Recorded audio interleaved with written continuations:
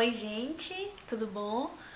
Olha, tô voltando direitinho, tá vendo como prometido, uma vez na semana. Então, hoje eu trouxe um look inspirado na Ana Paula Valadão, do grupo Diante do Trono, pra quem não conhece. Eu vou deixar as fotos também pra vocês compararem, lógico, né? É um look que ela usou no DVD um novo DVD, creio. Eu tirei pelas fotos e por uns vídeos que eu vi aqui no YouTube. E, mas é uma inspiração. E assim, ela anda muito com essa maquiagem. Na verdade, ela não usou só no DVD, creio. O do Sol da Justiça também tá muito parecido. E sempre ela tá usando essa maquiagem. Acho que fica uma maquiagem coringa. Fica a coisa mais linda do mundo. Que quem faz é Silvio Nogueira, que eu tenho ele até no Facebook, que é incrível o que ele faz. Tudo que ele faz é incrível. E assim, pensei, já tinha pensado em fazer essa maquiagem já tinha um tempinho, porque já haviam me pedido também.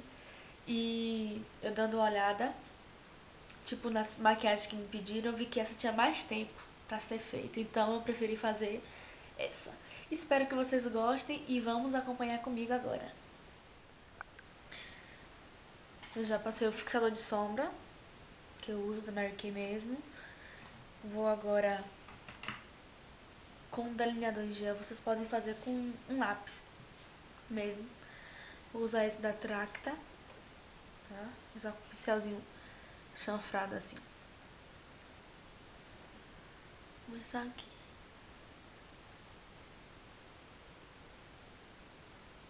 E faz um delineado normal.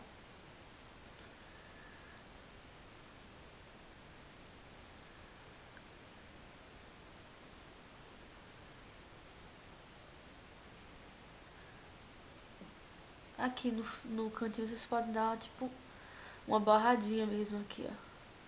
Pra dar uma subida. Vou usar agora uma sombra preta.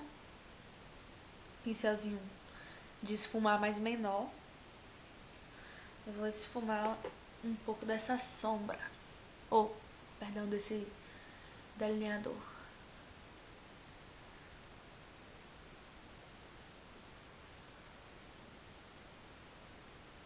E aqui a gente já vai fazendo côncavo. E desce. Como sempre a gente faz, né? Eu acho essa maquiagem linda. Tipo coringa assim, sabe? Que é uma maquiagem que não é tão escura, mas fica bem qualquer pessoa. Qualquer pessoa que bota. E fica assim e fica assim, linda. Então, daí vou vir com a sombra dourado tirado pro cobre. Que cai toda hora. Não sei como é que não quebrou ainda. Olha lá, essa sombra. Vou vir com o dedo mesmo em cima, tá? Em todo o olho. Aqui também calma, em todo o olho da pálpebra móvel, tá? Não vai subir.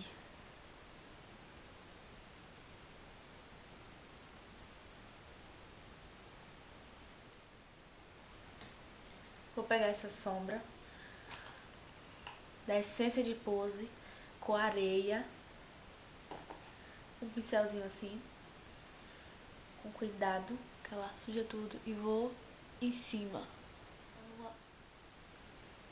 Ó, você já faz o cantinho aqui e já sobe assim, ó. Isso aqui dela tá bem iluminado, bem iluminado. Dá pra ver mesmo, na foto mesmo dá pra ver. Ó, aí você vem com o seu dedo e ó, tipo uma misturada. Com aquele mesmo pincel que a gente usou no preto. Usar uma sombra marrom. Essa é a Bordeaux. Bordeaux alguma coisa assim da Yes. É um marronzinho com uns brilhos dourados bem lindo. Embora aqui, ó.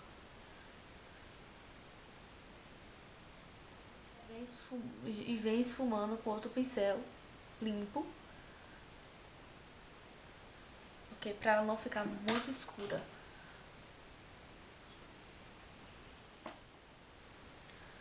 Um pouquinho da outra sombra de novo, a primeira que a gente usou.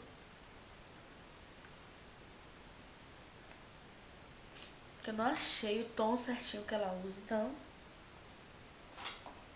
Ó, agora eu vou pegar uma sombra cobre marrom. Na verdade, ele é marrom, ops, marrom acobreado. Esse aqui, ó. Vou pegar com o dedo mesmo. E vou dar umas batidinhas aqui, ó. Porque como ela tem um brilho, ela é cintilante essa sombra. Ela vai quebrar a marcação escura, mas vai ficar bem bonito. Onde ela tá, dá pra ver que tem bem marronzinhos. Aí eu vou usar essa Spoon Silk da Mary Kay. Aqui. Vou pôr aqui, ó. Pra iluminar. Bora lá. Delineador de novo. Delineador grosso, tá?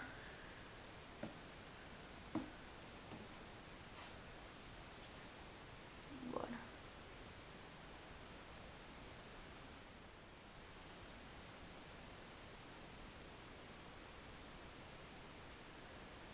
Para no finzinho. Não puxa gatinho. No dela não tem isso. Eu não percebi ela usando um lápis escuro dentro. Ou é, pra mim, eu acredito que é, ou ela está sem nada dentro do olho, ou está com lápis marrom. Então eu vou usar um pouquinho de lápis marrom dentro. Bem, bem sutilmente. Só pra dizer que não tá sem nada. Aplicar, vou fazer o delineador por fora. Eu vou usar de caneta da Mary Kay, tá? Gente, tem uma amiga minha que eu vou pôr embaixo o e-mail e o Facebook dela, que ela vende Mary Kay. Ela é ótima, ótima, ótima pra vender. E a Aline, ela é maravilhosa. vou mandar pra quem se interessar, tá? Olha lá aqui. E vou dar uma esfumadinha assim, ó. Tipo, tirar o excesso com, a, com o dedo mesmo. Então eu usei. Usei, agora eu vou usar mais um pouquinho da, do blush da Yes, Coral. é assim. Que ela tá com um blush bem marcadinho, mas ele é coral, mas ele tem um leve brilho. E também ela tá de iluminador. E parece muito, muito, muito a cor desse da Fenza.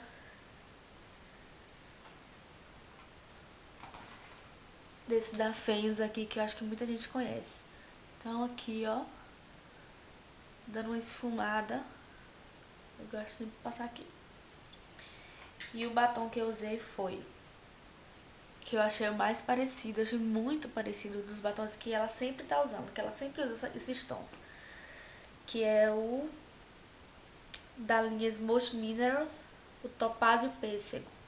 Mas eu pus um pouquinho, só pra dar o, um tonzinho a mais de coral desse 65 da, Mar, da Marquette, Marchette, Fiz assim, tipo, sabe, só pra dar a cor e usei.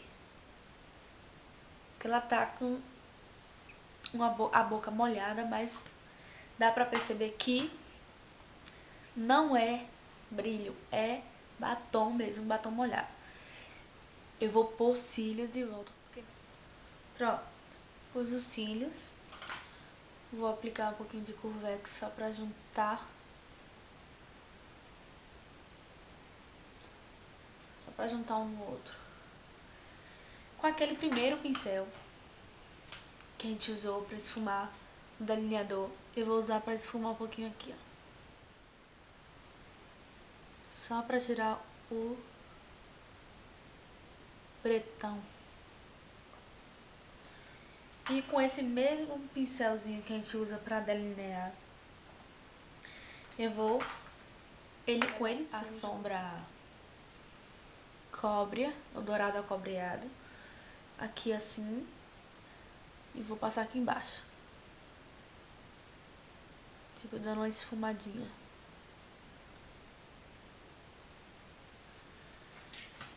E rímel, né? Pra juntar os dois. Embaixo, com certeza. Pronto, gente. Eu acho que ficou um pouco parecido com o dela, não ficou igual, porque não foi eu que fiz, mas eu achei linda essa maquiagem. Ela usa muito, muito, muito essa maquiagem. E é uma opção para festa, para várias ocasiões. Ficou assim. Espero que vocês tenham gostado. Se gostaram, me dá aquele joinha. Se inscrevam no meu canal, tá? E acessem o blog que vai estar aqui embaixo também, tá? Deixa um comentário também. Beijo, beijo, beijo. E até a Somos sua herança e ele é o nosso galardão. Seu olhar de graça nos atrai a redenção. Se a graça é um oceano, estamos afogando. Céu se une à terra com um beijo apaixonado. Meu coração dispara e meu peito acelerado.